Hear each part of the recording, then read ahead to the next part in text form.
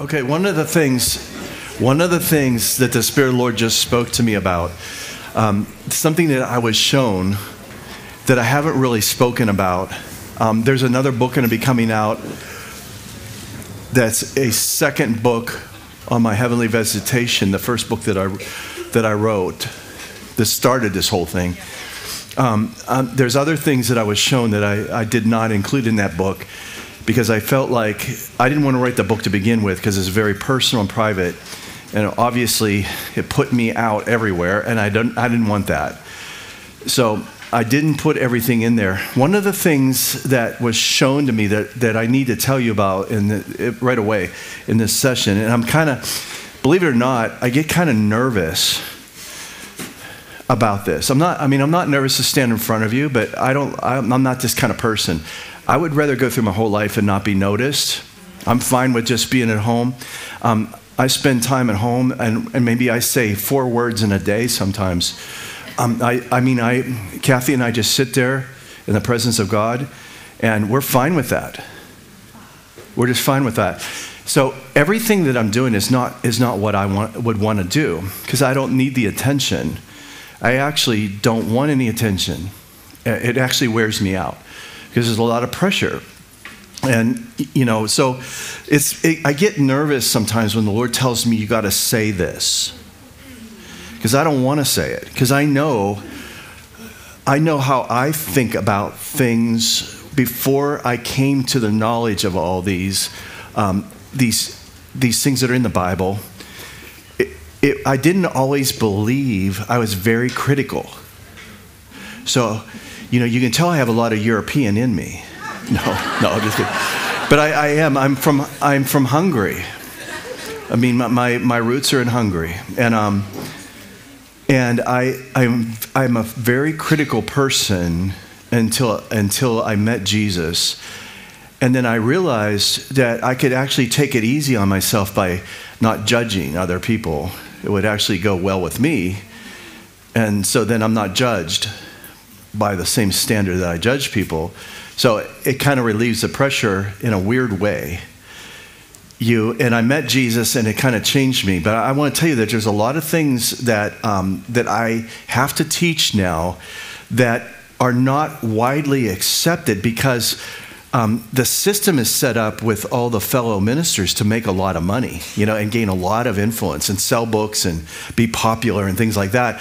But if that's not your goal, then you always are uh, considering, like, okay, well, what do the people need? And what the people need is to learn how to walk step by step in the Spirit for yourself. Instead of just coming and hearing somebody that's been to heaven, it's what if you had heaven on earth? You know, what if you, because it says that in the Old Testament, it says that you'll have days of heaven on earth. And it's talking about God intervening and you walking with God and having Him come into your life. And this was in the Old Testament. So, one of the things that the Lord spoke to me about that I, I have not shared because it's in, it would be in that next book, but one of the things is, that I saw that I'm going to get a lot of criticism for, for saying all this, but Jesus is actually more concerned and about your character than anything else.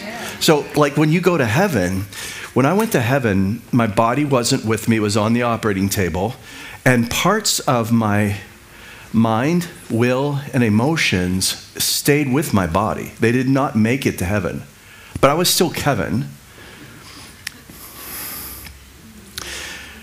But I was at rest with Jesus, so I wasn't nervous.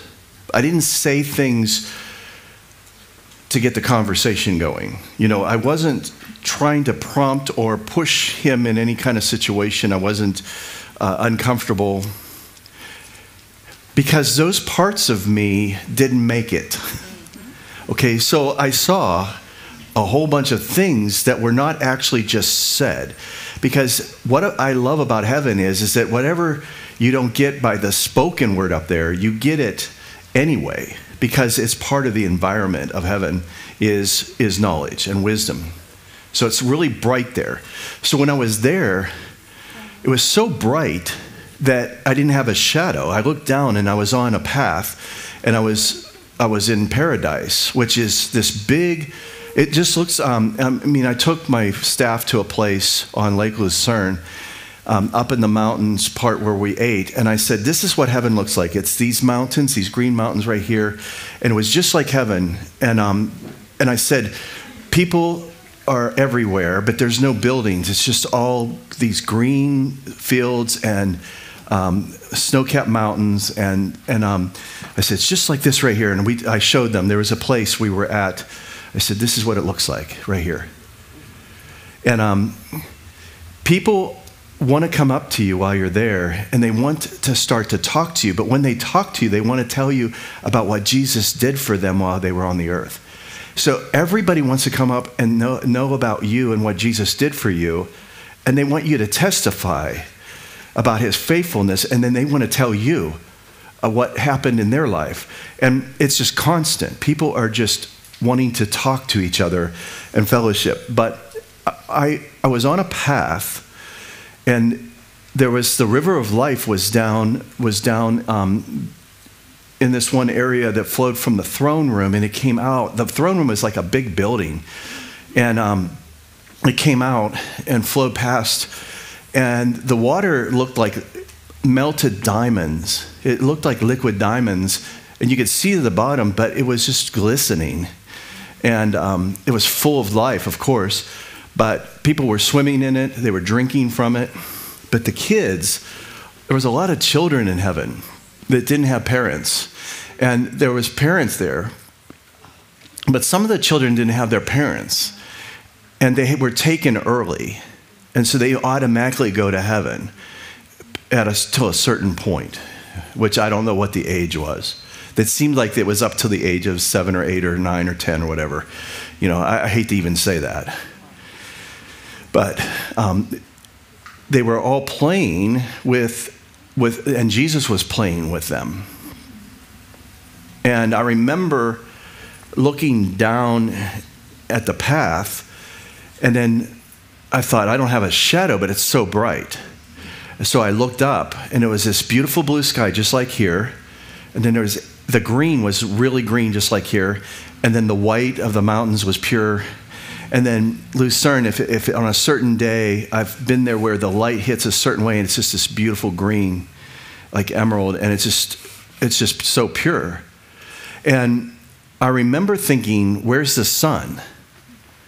And there was no sun but it was so bright in heaven. But I also remember not feeling any the feelings that I felt here. I didn't feel alone. I didn't feel rejected. I didn't feel anything like that. But yet I was still Kevin. You know, I still, you know, was Kevin. But my heritage was my father God. You, He was my father. And everything about the earth I was completely disconnected from. I didn't miss the chocolate here or anything, you know. and there was there, there was just beautiful. But I want to tell you this because what I realized was we try to judge heaven and the things of God by what we experience down here. And that was what I wanted to share with you, if you don't mind, for like the hour that we have together, is what I saw in heaven, which I didn't plan on doing because I have 20, you know, 20 pages left still of my notes. But I, want, I felt like this is what the Lord said. He said, explain to them that it's character and it's who you are as a person, not the anointing or the giftings or mantles or even necessarily associations, even though that's important. But you have to admit who trained Enoch to walk like he did? There were certain individuals, like who did they have to teach them? There, but they, they were so successful. I mean, Enoch walked with God to where he disappeared. And I mean, I, there's people I want to disappear. I want them to disappear, but it's for the wrong reason. But see, that I'm just trying to get you all to laugh, you know. But I mean, to do the right thing to where God said, I, I don't want you to be apart from me anymore. I want you to stay with me. Think about that. That God said, you know what? I, I love you so much, I don't want you to go. Just stay. Because when you read, when you read about Enoch and you do research, that's what happened. God just decided, you know what? Don't go back. Just stay with me. If you read what is said about Enoch, he pleased God so much that God, God uh, looked at him as a friend and, and, and would, would rather have him stay with him. And, you know, there was conversations that I've never spoken ever, and I don't want to begin here, but I will tell you that I, the things that I was told by Jesus is unfathomable. When I realized how much he loved me, how much, how much I meant to him, it, it made me not want to come back. I'm just telling you, if I would tell you what he's told me, I always, my first reaction is, why do people treat me the way they do then? Because uh, you know I'm, I'm like so valuable just like you all are. You're all valuable but down here it's just a struggle. So a lot of what is down here with you doesn't doesn't make it through. And when i was with him there was no conversations ever about the anointing or the gifts.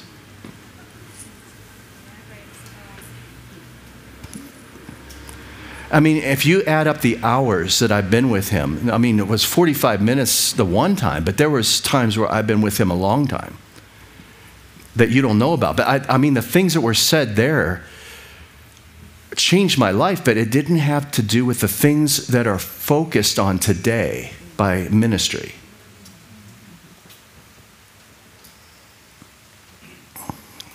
Interesting, huh?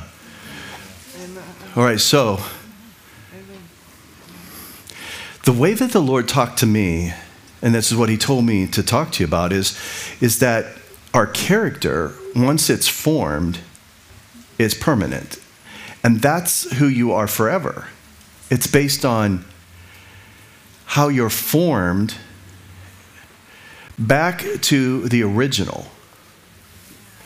So, what he talked to me about that I didn't really get into in the first book, but he loves Moses. Even though Moses messed up, he loves Moses. Jesus talked about Moses a lot. I'm like, man, if he would talk about me like he talks about Moses, you know. but I didn't get to meet Moses. But he talked about him a lot and he used him as an example. But here's why Moses didn't claim to want to do anything that he was doing. In fact, he didn't want to do any of that. And he was always like, you know, can you talk for me? Can you, you, you go and tell him, you know, I'll stay here. You know, and he was like, you know, um, so the real test for Moses was when God said, listen, I'm going to take out all these people and I'm going to, I'm going to make you a nation because me and you are fine. That's what he said. Me and you are fine. It's going to go well with you.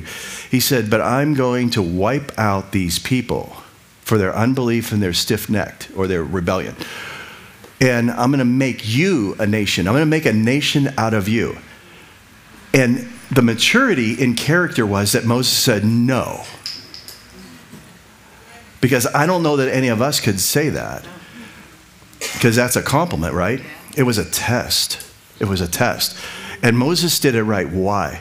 Because God's character was at risk if he wiped the people out. If you remember what Moses said, if you do this, all of Egypt will say you brought uh, your people out and killed them. And your name would be profaned instead of famed. And that's why Moses was God's friend. Is because Moses was thinking more about God's God's pers- what the, how people viewed him and the witness than, than um, being complimented and being promoted. In other words, to be God's friend, you have to stick up for him. And that's what I was asked to do when I was, I was sent back twice one of them you don't know about. But I was sent back and I was told, to defend me and the Father. Jesus said, Will you go back and defend me and the Father? Because we're not doing any of these diseases. This COVID, this is not of us. And he told me to come back and defend the Father and him that we are not generating this disease. He said, The thief comes to steal and to kill and to destroy. But he said, We've come to give you life and life more abundantly. And he said, Will you defend me and my Father? And I said, Yes, I will. And so what I did was I, I started teaching on healing and talked. If you look at all the messages throughout the last three years, it's been really defending that God is a good God and that his goodness, Paul said in, in Romans 2, leads people to repentance. Yeah. So it's not the fear of punishment or the fear of hell. I know that people preach that way, but Paul did not preach that hell was the reason why you don't, you know, that you should accept Jesus. I mean, nobody wants to go to hell. Even the people that say they do, they don't want to. And once they get there, they definitely want their return ticket. But Paul didn't preach that way. If you notice, and, and do the research if you don't believe. But I did the research, and he did not preach hell. Even though he believed in it, he said it's the goodness, it's actually the revelation of the goodness of God that leads people to repent.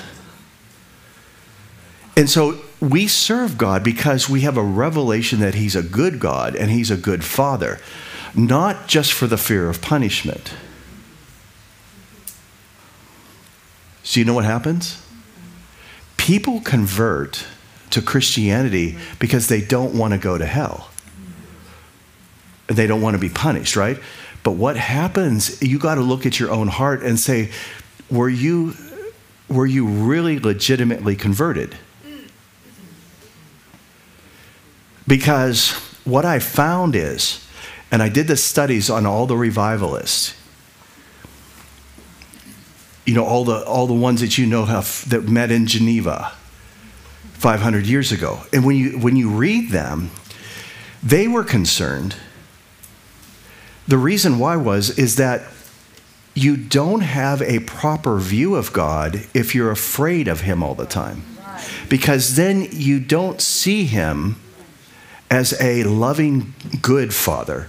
You see Him as a disciplinarian and maybe even a dictator.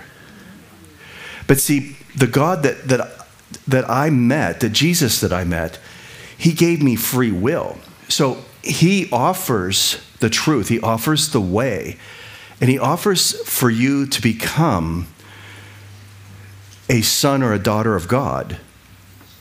But you have the choice not to do the things that you're asked.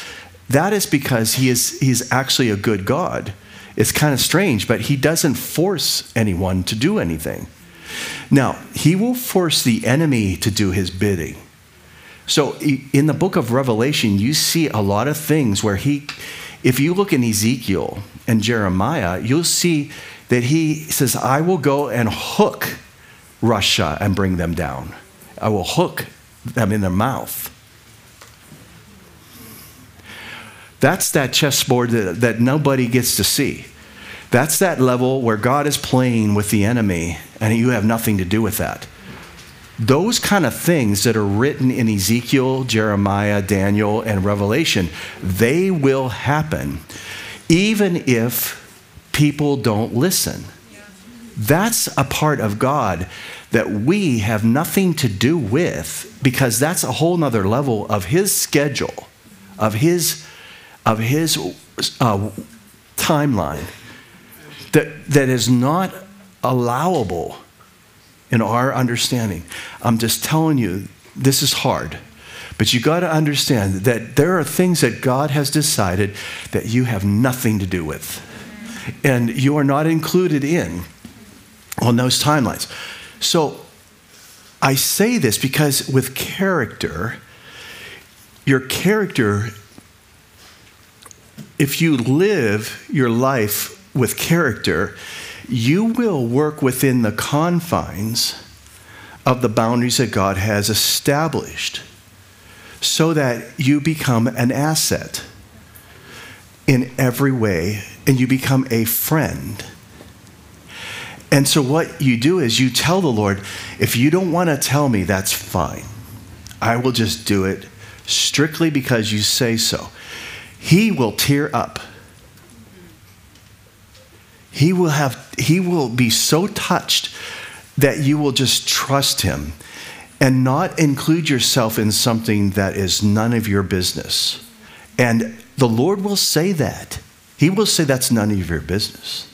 He will he will tell you that's between me and them. He won't he won't tell everything that he knows, especially if it's about somebody else. Because he's working with somebody else. Okay, so when I was in heaven, when I was in paradise, when I was with Jesus at the throne, it, my character, who I was as a person, was enough to operate in heaven. The things that I operate in down here I would say 80% of it is not even necessary. Like 80% of what you worry about never happens. 80% of what you think is, you know, not, well, is it even, even true? You, you oscillate and it's like a roller coaster ride with your adrenal glands and your chemistry in your body just over thoughts and crazy people, crazy people acting up. But then it, it just goes. It's, it, ha- things happen and then they, it, it just, so things don't stay the same. It just oscillates based on traffic, based on eh, when you get your bills. And, and everything is trying to push you into some sort of scenario that passes because it's, it's not as permanent as you as a person and how you deal with it in your character. So when you get to heaven, you literally like like uh, what I saw. I saw um, I was taken to Mount Zion, and it's the city of David. It's on this. It's on the side of the holy city. It's on the on the on the. It's not the Temple Mount. Temple Mount is a Roman garrison that was built because Jesus said that there not, won't be not one stone left on another. But that goes over well. But city of David is where the Gihon Springs are, which would be the water for where the temple was. And the, the, the city of David is Mount Zion. And so it's, it's right there on the side. And um, it says that we, we have not come to Mount Sinai, which is flames and fire and thunders and earthquakes, but we've come to Mount Zion, which is a different word. And it says, where the spirits of just men made perfect are, it says. And that's what I'm talking about. So if you meditate on that, God will show you what I'm trying to tell you about your character is that the, the, the men and women that are on display are these the spirits of, of righteous made perfect. And they're on display. And I saw them. I saw all of your heroes in the Bible standing there on as trophies on display up the mountain. And we got to see them. And they were like pillars that had changed and done God's will for that, that era of, of time. And they had accomplished and added to the end result that we have where the heavenly city comes down. And I, I wondered because all the pressure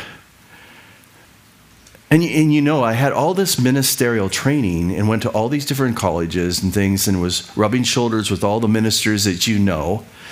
And I was like, I don't want this. I want to be a friend of God. And, and it was weird because you would think that being a minister would be that friend of God. But it, it seemed like there was like this thing that made it feel like they were really working it.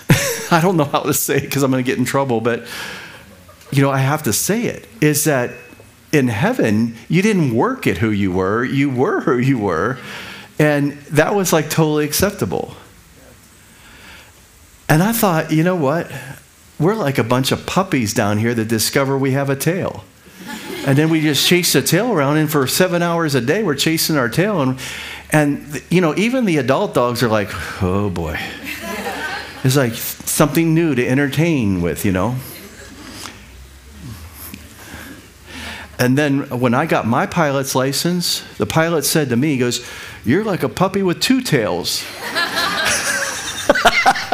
I was so happy. But to the mature, they're like looking at that and they're thinking, you know, why do kids find so much excitement in this little box of, of something that you buy that's a toy? But it's because they're expanding. Their mind is expanding and they're wanting to discover. It's like a journey, it's a discovery thing. But why do we stop that when we get older? The simplicity of just being able to dream and expand and and and be able to discover and find things and it doesn't cost you a whole bunch of money, you know. And I realized that I was always going to be Kevin. And Jesus never called me anything else except Kevin. I didn't have a title.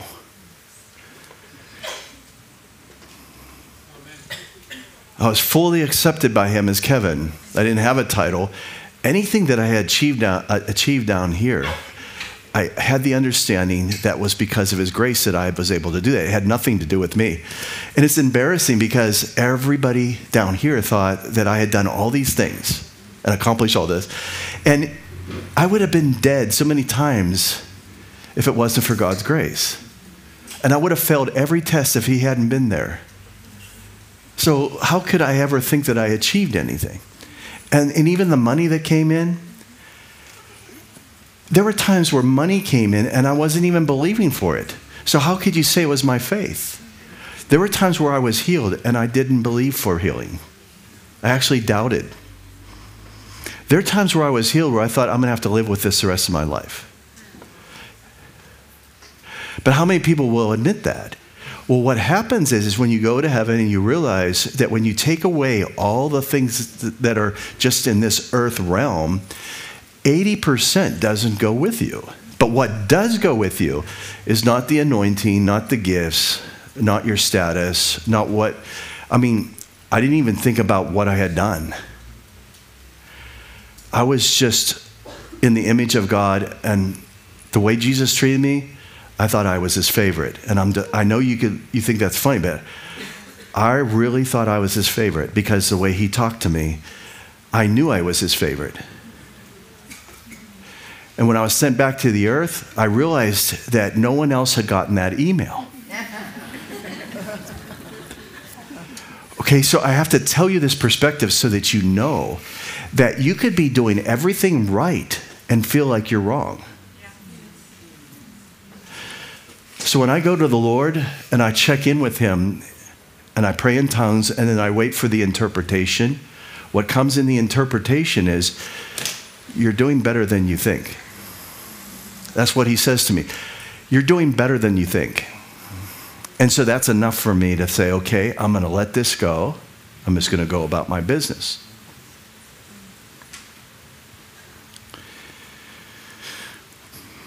So, my character, if it was matching Jesus, the ministry was much more powerful than any anointing or any gift.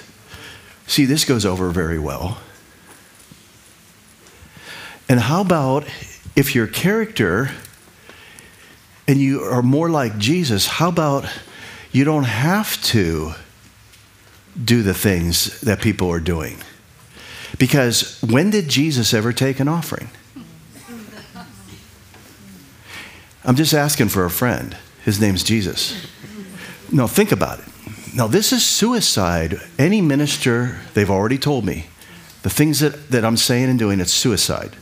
In other words, I've told people, I've told people, please don't give. We don't need your, we don't need any more money. We have too much. I've said that so many times. And the offerings quadruple. Okay? But what if your character is the most powerful thing to where money actually has to come? Because you're trusted. What if healing has to come? Because God must preserve you because you're his friend. What if it has nothing to do with what you think is faith? Working it up, you know, praying in tongues, fasting, watching your words. What if, because you chose to say, God, you're not going to do that, because that's going to hurt your name, like Moses did? There's only one other place in the Bible where anybody, a minister, ever said, please stop giving, and that was Moses. Moses said, he asked for the gold and silver uh, earrings and all the, all the jewelry that they had borrowed from the Egyptians for life. They had borrowed it for life, you know. And, um, and he, they were going to make all of the, uh, the, the, the, tabernacle uh, implements, okay? And uh, I asked Jesus, just so you know, because I, I, I, asked the hard questions. I asked Jesus, I said, what about this uh, borrowing the jewelry when you, they knew that they weren't coming back? That's stealing. He said, no, they weren't stealing. He said, I was paying them back for 400 years of, of free labor in Egypt. I go, okay, good, good to know. I hope they tithed off of that. You know, no. All right, so Moses actually says, Stop. We don't need any more. We have too much. It's the only other time that anybody's ever said that. So the Lord started asking me to do that because there was so much emphasis on giving and prosperity that the Lord was saying, You need to unhook people. And so, what I, I would tell people is, You don't have to give if you don't want to. Please don't give. If you don't want to give, please don't. But I also would announce this. I said, Did you know that if you never gave again, you could still go to heaven? If you never gave another offering, did you know you could still go to heaven? Oh boy. See, what happens is you start messing with the system. Then you're going to realize how powerful that system is and how, how confining it is. Because what I'm noticing is, is that we migrate toward one side of the road or the other, but never stay in the center. Now, you know that giving is biblical, and you know that God does bless you if you give. But it's, a, it's an act of your will. And so if you start to feel pressured, you know, if I'm going to say we're going to go under if you don't give, I mean, that's not faith, right? See, giving should be worship. And you should want to give more than you should receive. But what happens is in a, in a world that's confining and restrictive, you, people get into a survival mode. Can, they want to conserve. And they realize that there's more going out than's coming in. What was one of the things that God told David not to do? Count the fighting men. Do not count the army. What does this say in the scripture? Satan rose up and tempted David to count.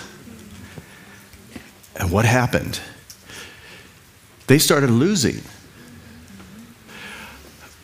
Okay, so we're not to trust in the arm of man or in the horses, we're supposed to be the strength should be in the in the Lord, the Spirit of the Lord. That is where our help comes from. That's where our deliverance comes from. Okay, so if you're going to click out of a survival mode, then you're going to have to realize that well what I have really is God's to begin with and how I how I'm going to where I'm going to get to from here is going to be a miracle. It's not going to be because I'm conserving or doing this. In other words, you're smart and you manage your money well But what about your health? Do you manage your health well? I mean, do, should Jesus have to appear in your house and lay hands on you when you're sick, or can you change your diet too? In other words, what I'm trying to say is character causes you to do things that have to do with a relationship where God can say, listen, here's what you do with your finances, here's what you do with your health. And then do we really honestly always need a miracle of healing or do we need some corrective measures too as well? Okay so you get it? With our finances. So what happens is, is i lay hands on people for their finances or their health or deliverance and, and that's what would happen is the lord would show me well if they don't stop this um, they're not going to get healed. Well I, how am i going to I mean, that's, that's not going to bring in a big offering. You know like if i start telling people like hey listen it's your fault so you see the pressure that's on ministers is if they would actually speak the truth, it would bring correction, but it was it's needed because because you can see that you're on a road that's going to have things happen and that you can't expect God to just heal you all the time if it's something that you can do. It's the same way with your finances and everything else. Is everybody okay? If I was in Texas, I'd hear all kinds of safeties being clicked off on their pistols. But you, I know you guys got knives. click, click. You know, I'm like, oh boy, I better.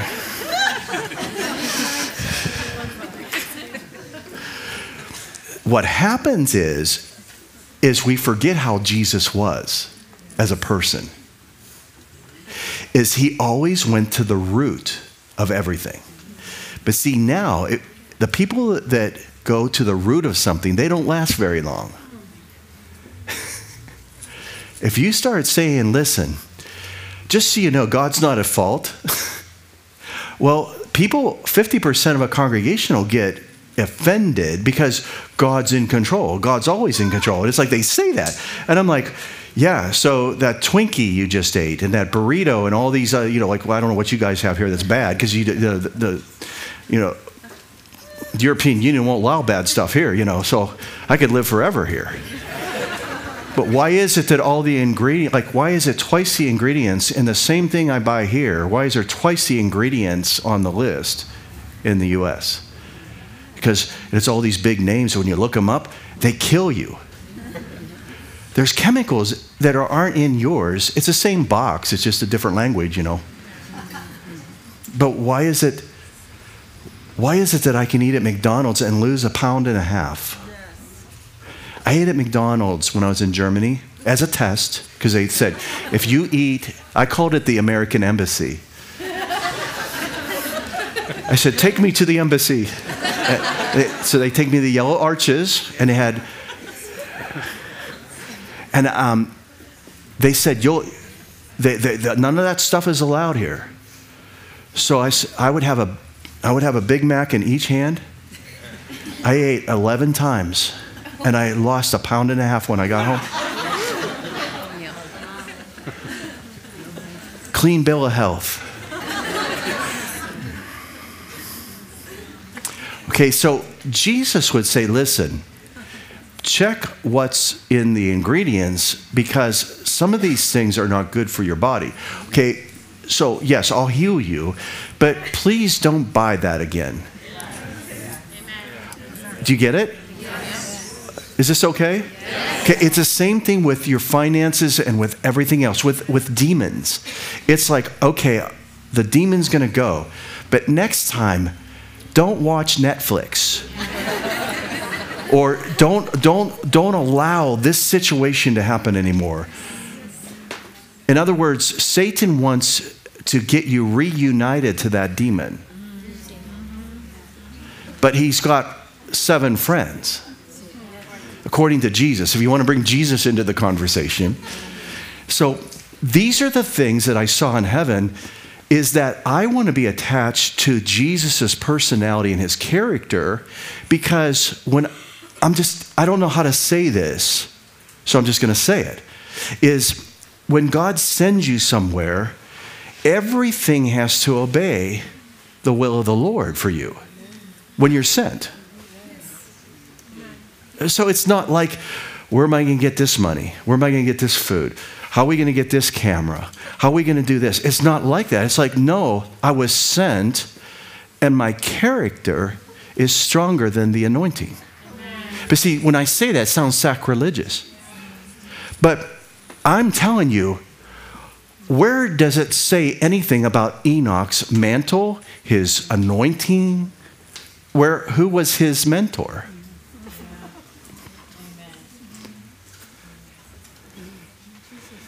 It was his character. He pleased God so much that God said, I'm taking you with me. I mean, that is huge. That is my goal down here.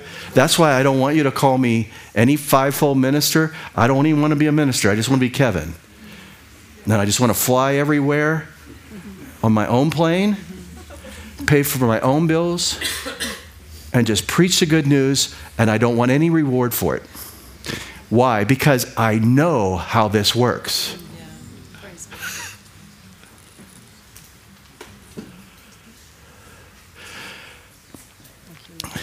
Being a minister is not an occupation.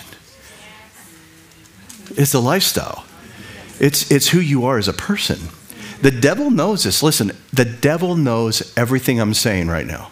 The devil knows all this. He doesn't want anyone else to know it. And it's kind of sad, isn't it, that I had, to, I had to have this experience and go to heaven to find out what was actually being taught the whole time in the Bible.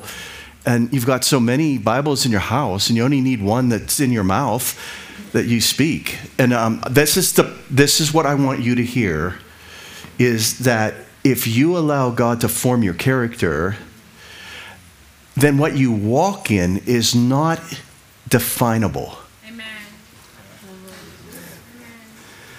And I know that's hard. I know that you can't grasp some things.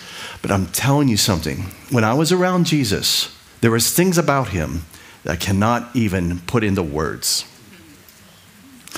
And to tell you the truth, out of all the time that I've, I've spent with him, I have said maybe maybe it, probably under two two hands full of words so probably eight or nine words. I have said in hours hours of conversation where i was not saying a word. There was one time it went on for five hours at night in a dream. I never got to speak one word. He never even said goodbye. He just walked off Five hours in a dream. Everything you see at Warrior Notes was given to me in that dream that we're doing now was in, he just he wasn't asking for my opinion. He goes are you available on this date? No. He was like here it is. You're going to start the school. You're going to start the homeschooling. You're going to do this program. You're going to do this. You're going to be captain kevin now you're not going to be apostle or anything. You're going to be Captain Kevin. You're going to get all your jet ratings. You're going to be Captain Kevin, and the kids are going to love you. The kids are going to attach to you, and you're going to be a father. Amen. Oh, that's what he told me. But this is back when I didn't even have, I've never flown a jet at the time. He said, You're going to call this person, you're going to do this training, then you're going to do this, this. And for the last two years, I've done everything and became a captain. Impossible Amen. in two years. Not only that, flying military jets. Yes. And I'm a civilian. Okay, this is because of character. This is not because of anointing. Mm-hmm. It wasn't because the money came in. The money came in after I obeyed. That's character. But character is something that comes from God that He influences you. It's not something where you get good enough. It's not that. It's a quality that is not definable.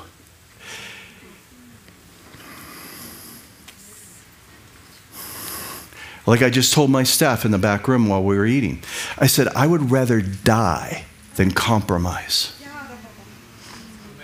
That's the kind of stuff I say to my staff all the time. I said, I would rather just like cut it short right now in a good position and go be with the Lord and have that for eternity on my record than to start acting like some of, the, of what I'm seeing here. Some of the, I call them numbskulls. I don't know what else to call them. This is, this is not the way it's supposed to be. I'm not here to try to get you to do anything. I'm here just like you want to be here and represent God. I'm representing the Lord Jesus Christ. I met him. He changed my life. He is the one I worship. He's the one that I will die for, but He's also the one that I will live for. And I am going to do this even if I have to go back to work to pay for it. And I'll even send Kathi back to work, but it'll be at a purse store, a shoe store.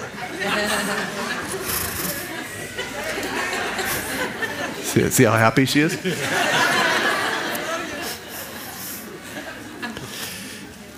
because what I believe in is so strong that I was I'd be willing to not just do it for free, but to have to pay to do it.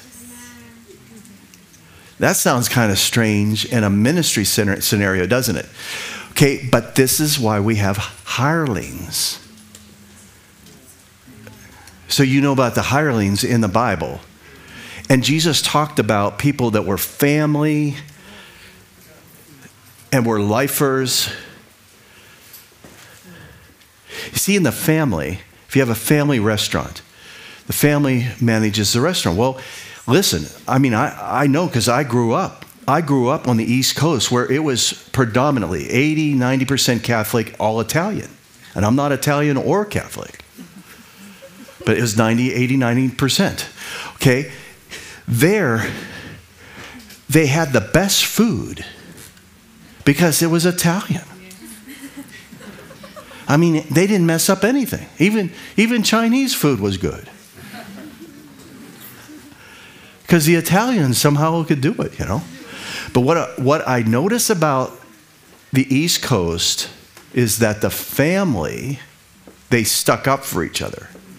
So I would call my friend who they had a restaurant, you know. But, you know, hey, let's go roller skating. What's this? Oh, no. Um, my sister, it was her shift to be manager on duty, and she's not feeling well, so I'm going to fill in with her. And that's what they did. It's like if one of the family members couldn't do it, then somebody else just had to sacrifice their Friday night because that was the biggest revenue night was Friday and Saturday night, you know. And they it was just understood, you know, the family like no, this is our business. Okay, so there are cultures that understand what I'm saying. But then there's the culture where you're an individual and you do whatever you can, even if you have to step on people, even if you have to steal, even if you have to do these things. And that culture got into the church. Okay, so it works because you can run a church or a ministry like a business and make money, but you have to know how to talk. You have to know how to talk to people about things so that it becomes their, your idea, but it's really the minister's idea.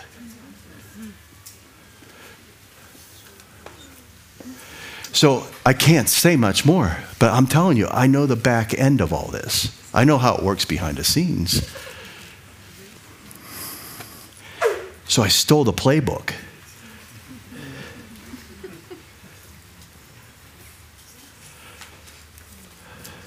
So, if I wanted to, I could say anything to get you to do something.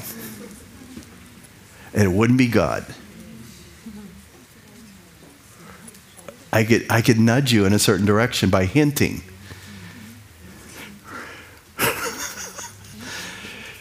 then what happens? Well, not only is that not character, but then the Spirit of God is not allowed to work. It's just like saying, we're not taking any offerings anymore. You can't do that because you have to have the ability to give because it's part of worship.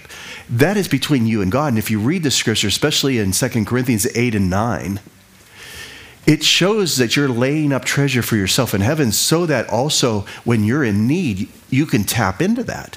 But not only that, someday, if you're helping someone, Paul said now, that's in a, has a bump in the road, they said, he said, he said, someday you might have a bump in the road, and then they who were poor will be able to help you because you helped them in a hard time. Okay, so the best thing you can do for many reasons is to do what you would want done for you, is to do it for someone else. So if you're sick, you need to pray for people to be healed. If you need money, you need to give to someone else to help them. But you don't necessarily have to give to a minister. I mean, you, when Jesus was talking to the rich man, let's be honest, the rich young ruler, he said, he's sitting there listening. This guy said, I have obeyed the law perfectly since a child. Okay, he's telling the Son of God that he's been perfect. He's telling Jesus, I've, I've obeyed the law completely, perfectly since birth, or, you know, from a child. And Jesus is like, this boy's about to fall. What does it say? It says he looked at him and loved him. That's what Jesus did. Because the Gospels say, after he said that, Jesus looked at him and loved him and said, Well, you just lack one little thing. And this is what he did. He went, this is what I wanted to share with you that I've never shared. Jesus goes after the root. He said, You just lack one thing. Just sell everything you have. Don't give it away. Sell it, take the money, and take the money and give it to the poor so that you're not going to give your stuff away to your friends who will store it for you so you can get it back later. And the poor, you'll never get it back. So sell it, take the money, and give it to the poor. So that makes it impossible for the rich man to ever go back. Bingo. The one small thing that he lacked was he worshiped money. Okay? So, sell everything you have and give it to the poor, and then come follow me. But you would think, let's be honest, would you be honest with me? Because Jesus wants to know. Today, sell everything you have and give it to my ministry and follow me. Now, be honest. Did Jesus say, Give it to my ministry? I'll tell you why he didn't say that. He didn't need the money, he needed the man. he wanted to make it so that he had the man. He would have got it all back, I'm sure. But who cares if he did or not if he has eternal life? But see, now it's like, well, you can have both. Okay, so you can have both. What happens when you lose your job? It's because you stood up for Christ. You stand up for Christ, then you have no income. And it goes on for years because you won't take this. Okay? So you won't, you won't take this, so you don't have a job. Okay? Then, then you're pressured to do something that you don't want to do. Well, what is the difference when you go to church and you're pressured to do something you don't want to do? Like, should it not be something that is in your own free will? I'm making you all nervous for a reason. Is the bottom line is from now on, you got to hear from God. Because you can't let somebody tell you what the truth is. You got to know the truth and it's got to set you free. But you can't trust everyone because Jesus would take you to the wall.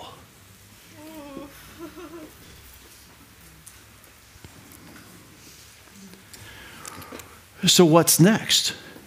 So, at what point do you say, No, I'm not going to do this?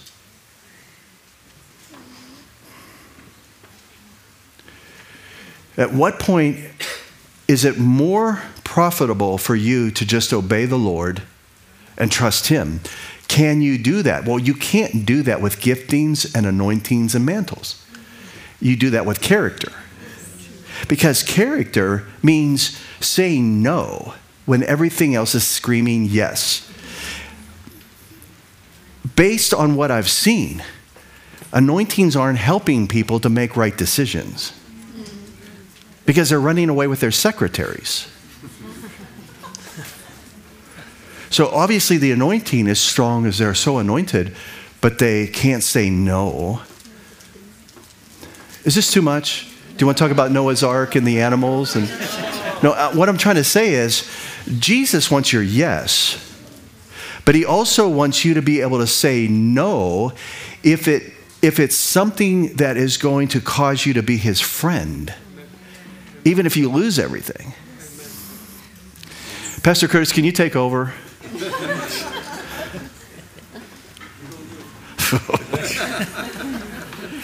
the, the, the Jesus that I met, he believes in you, but he wants to have influence on you as a person, which is beyond what we put our emphasis on.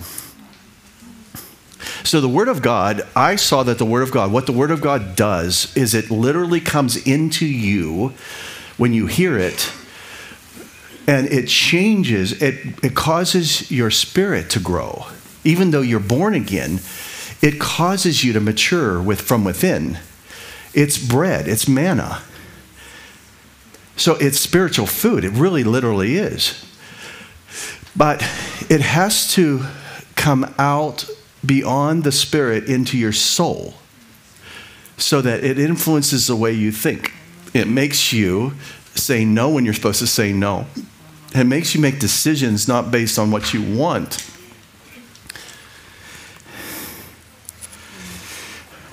Would you be willing to lose to gain him? Is what I'm trying to say. And you have to have that attitude. And I don't ever hear these messages being preached. I'm going to buy this CD myself. no, think about it because he, he's totally worth it. He's totally worth any cost that it would, it would cost you. I mean, he told me, I mean, I'll tell you this. I wasn't going to, but I'll tell you this. He told me the reason why you're where you're at is because you encountered the pearl of great price and you went and sold everything you had to buy me. That's what he said to me. And so you got everything because you discerned and counted the cost. I went and left, Kathi left everything. We left everything to follow Christ because we discerned that he was worth it. And that's what the parable says is that you bought you, when you find a treasure on a, on a ground and it's not yours, property, what does it say? Cover it back up, go buy the property, don't say a word. And what is in the property is far more worth than what you paid for the property. That's what Jesus is to you. Okay, so I believe that how you have been talked into this, believe that you have talked you talked in, talked into this to where when you address devils now, it's not like you're working it up. You don't have to pray in tongues an hour before you address the devil. You just show up and you go, This is your last day here. You just tell the devil, This is your last day here. Start packing. You know, I'm serious. Like, there are times where I have not even used the name of Jesus. Can you believe that? They already knew what was coming. They didn't even stick around for my whole message. They didn't stick around for the, for the you know, the exodus and the, the driving out.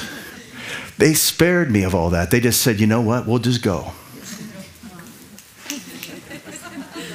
That's character. That's the Jesus that I met, and that's the mentor that I, that I have and you should have. Okay, so Paul said, listen, follow me as I follow Christ. So Paul was a good example of Jesus Christ. So he allowed people to follow him, but that was because he was representative of Jesus himself. And there was, there was no discrepancies between what he was preaching and what Jesus had given him in a message. If you remember, he was caught up, Paul was, and given the gospel by Jesus himself. So this is the person I met, is that all of us really need some work done on our roots. And um, we, we try to medicate and try to like um, somehow manage all of this that's going on in our lives when, when we're really a mess. And, and until you can love your enemies, if you're still hurt about what they've done, then you're not healed. The, the whole idea is to be completely disconnected from this world system so that people, it doesn't matter. Honestly, it doesn't matter what they do to you because they're going to face the judgment. And I do not want to see it. I don't want to be there. That line's going to be long. I'm not going to be in it. Can you trust Jesus to take care of those who have done you wrong? Enough to just let it go and, and, and live without cancer the rest of your life or intestinal problems or maybe your hair will grow back, you know, when you just like let it go. You'd be surprised what will happen. Your, even, even your finances might get healed. And, and you didn't do anything different except forgive. This is character. Forgiving, walking in love, is not anointing. It's not gifting. It's not a mantle. It's character. The fruit of the Spirit is literally in heaven. I mean, if you want to bring Jesus into it, Jesus showed me that the fruit of the Spirit is actually the personality of God. The fruit of the Spirit is actually his personality traits that are inside of us. And he's telling us that the life flow from the vine to the branches is, is through me, and it is the Spirit, and it is the fruit of the Spirit, which is my personality. And that's what I saw. And I saw that the fruit that comes through my life, like in John 15. Do you know that John 15 is talking about prayer? Did you know that? You should read John 15, abiding in me and abiding in you. And, and, if you do this, he said you can ask whatever you desire. The word there is will or desire, not whatever you need. It says, ask what you will and it will be done for you. If you abide in me and my words abide in you, you can ask what you will. Sounds like prayer to me. I mean, without limitations. You should read it. You'll start crying because you're like, oh my God, that's there.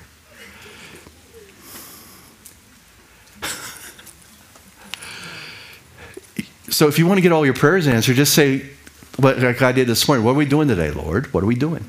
What are we doing today? What's, what's you up to? What do you want to tell the people? What, what is it that, that is on your heart? And then all your prayers get answered because you're not being selfish. Yes.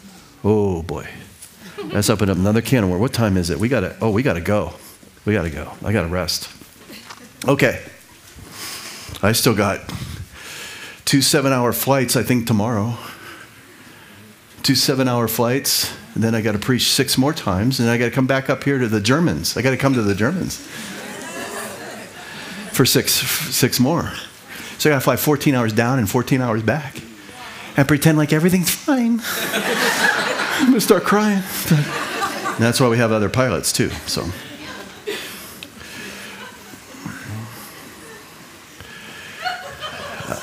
Thank you.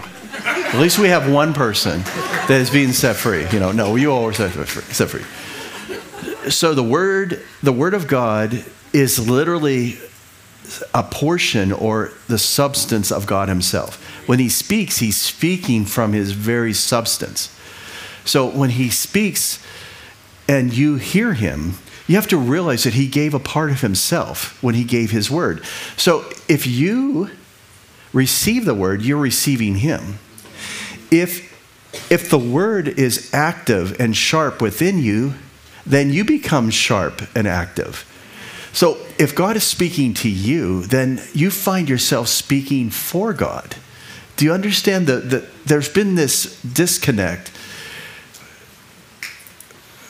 There, there's, there should be a flow. It should be like a fire hose instead of a little sprinkler system. But what happens is we don't understand what's important. And that is, is that our character is what we deal with the rest of our eternity.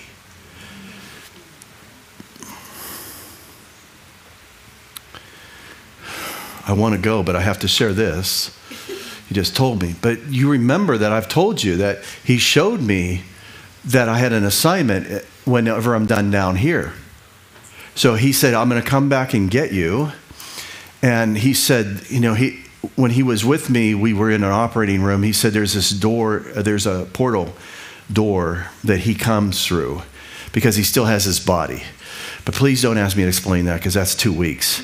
But he still has his body. So he has access. There's other things he can do. He can walk through physical walls, but he can still eat.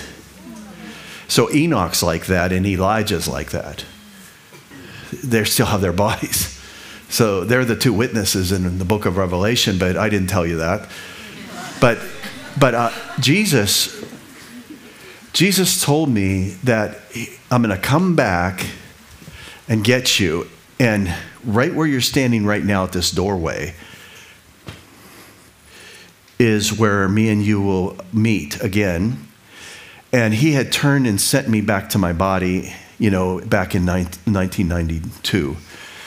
And um, he said, But you're going to appear right here with me again, just like we are right now, is what he said at the time. And he said, I, he, walked, he walked away, and then I got sucked back into my body, into the operating room from this doorway, this bright doorway. And the Lord said, When I come back to get you, I will go down the hallway like I am now, but I'm going to turn around and I'm going to say to you, Oh, you decided to come with me. And I'm, and I'm going to say yes. And it, was as though I never came back here. But I had done all of this for 20, oh, 20 30 years. It was all extra credit. It was like that. That will happen. But he said, where you end up here in your life in character is where you start with me in the next reign, the millennial reign. So he said, You want to tell the people to make sure that they understand that they're being proven. He called it probation. It was a probationary period where this life was just about qualifying for our our assignment with Him. The worlds are so vast. This was like a little speck of dust, this earth. I mean, Switzerland's clean, but it was like a speck of dust, the whole earth. It was just nothing, it was, it was so insignificant in comparison to the vastness of his kingdom and all the universes and the galaxies. And it was just it's just beyond words. He, he showed me that I was going to start where I left off down here. So he said, Tell people to make sure they're diligent to qualify by letting the Spirit of God lead you and train you and teach you so that when you cross over, um, there were places I, I don't understand it, but there were places where people had to go for training. There was other things that you're always learning. So everybody wanted to go to the throne room, but not everybody went to the throne room at the same time. There was people that were out and about doing other things, assignments, and then they would come in. And then you had your appointed time to meet with God. And you just kind of knew. But all of you, remember this. Don't go after the anointing. Because really, honestly, the anointing is on the anointed one who is inside of you. Amen. And in the Old Testament, You better be anointed because there was nothing else. They didn't have the Spirit within, they had the Spirit upon. And if God didn't talk to the prophets, God didn't talk to nobody. If you remember, that's Old Testament. In the New Testament, we're all kings and priests. I mean, if you want to bring scripture into it. Wow.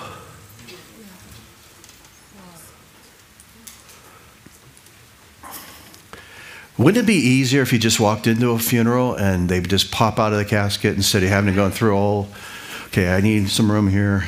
You, you're doubt and get out. You, you know, I gotta have, I gotta raise the dead here. You know. What if, what if you just walked in it like Jesus did and said, oh, she's not dead, she's just asleep.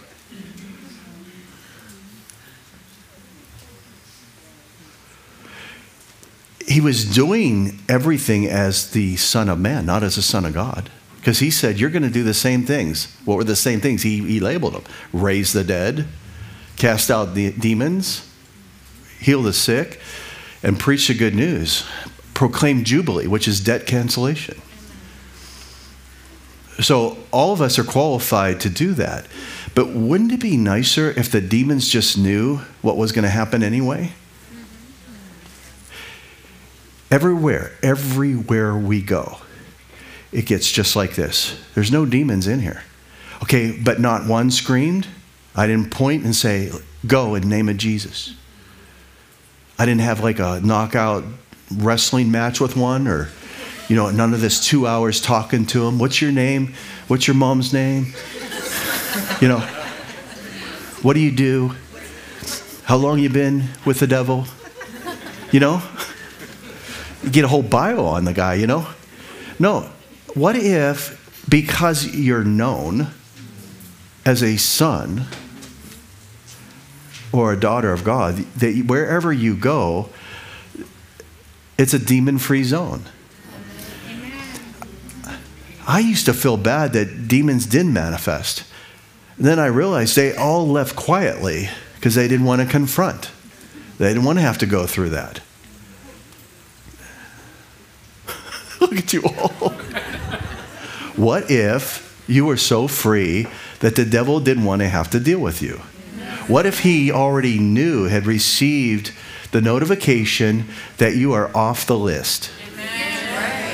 Do not touch. How about do not contact? Huh? Listen, this is doable. This is doable. I'm going to pray for you. And then you pray for me because I'm going to go rest. All right. Father, in the name of Jesus, I thank you so much for your Holy Spirit. Thank you for giving us your wisdom and knowledge. Thank you, Lord, that it's permanent, that it's fruit that lasts. Everyone will encounter you permanently and they will never go back. And I thank you, Lord, that you've healed and delivered so many here in this room. And I thank you, Lord, that your revelation flows permanently and that, Lord, you've given them the confidence that they can walk in character and in your personality. In the name of Jesus, amen. God bless you.